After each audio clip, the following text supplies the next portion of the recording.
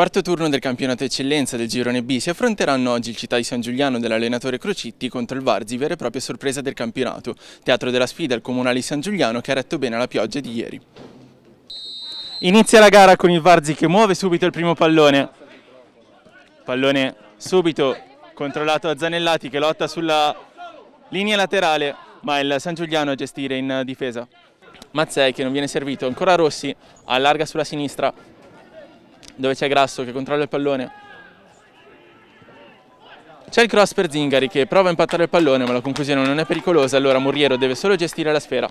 Vedremo come eh, sfrutterà questo calcio di punizione il Varzi. C'è Rebuscini sul punto di battuta, va al cross Rebuscini dove c'è Zanellati, potrebbe anche andare alla conclusione ma la palla si spegne al di là della linea di fondo.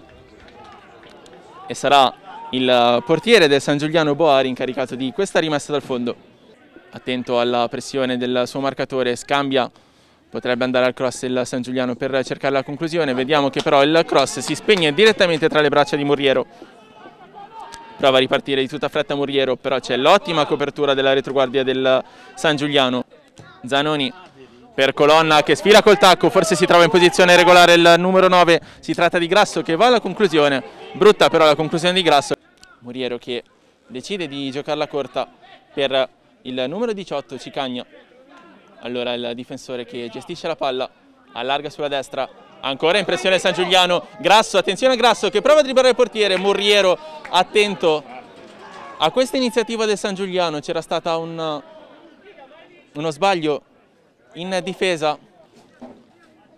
A Babio a lottare. Ancora Babio, attenzione lancio lungo, potrebbe essere questa l'occasione pericolosa ma c'è la posizione irregolare di Grasso.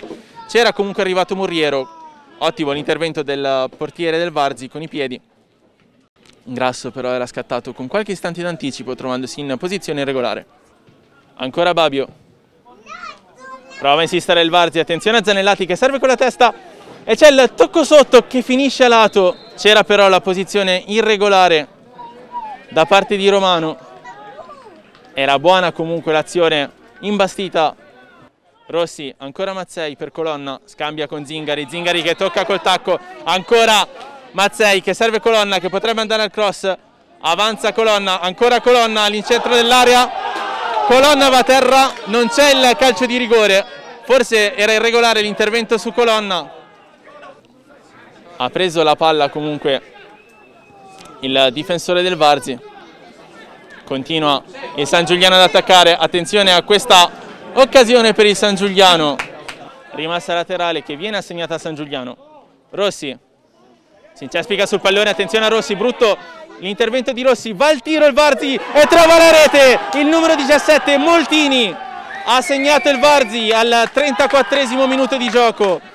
Incertezza di Rossi e il Varzi trova il gol che vale l'1-0 al 34 del primo tempo. Ha segnato Moltini potrebbe anche provare la conclusione in porta. Vediamo il fischio del direttore di gara, c'è la finta, c'è Zingari che prova direttamente in porta e la parata di Murriero.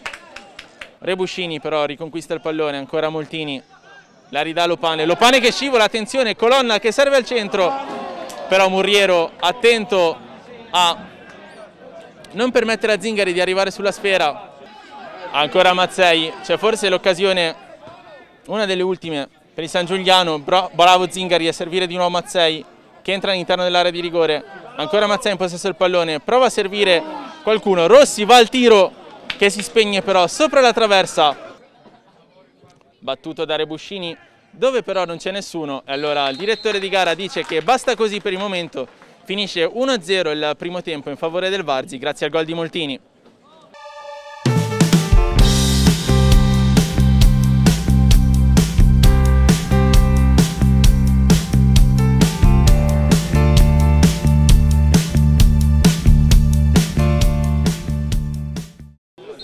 Inizia il secondo tempo di San Giuliano Varzi con il San Giuliano costretto a recuperare la situazione di svantaggio. Subito Zingari con una conclusione, però non ha alcun problema il portiere del Varzi.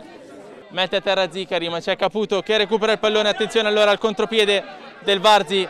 Si allarga in questo momento Romano. Romano che potrebbe andare a cercare Zanellati o andare in porta va al tiro Romano c'è la parata di Boari. Sabatucci allontana in testa ma il pallone è ancora in possesso del Varzi con Romano che gioca sulla destra serve Bernareggi potrebbe andare al cross lo fa in questo momento Romano di testa per un momento non riesce ad arrivare bene sul pallone.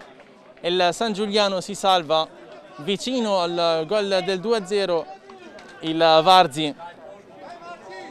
Servito Colonna Scambio con Grasso, ancora Colonna. Colonna che serve di nuovo Grasso, potrebbe andare al tiro, non riesce però a tirare Grasso. C'è la rovesciata di Colonna che per poco non sorprende Murriero.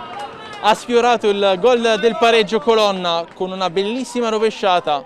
Palla che sembrava innocua, ci ha creduto il numero 7 senza però riuscire a impensierire il numero 30 cerca la sovrapposizione che arriva, ma è colonna ad arrivare sul pallone, servito di nuovo Zingari, potrebbe andare al tiro, ci pensa, lo prova, Caputo riesce a recuperare il pallone, insiste Caputo, buona la difesa del San Giuliano, ma ancora il Varzi ad avere la palla, il tiro di Bernareggi.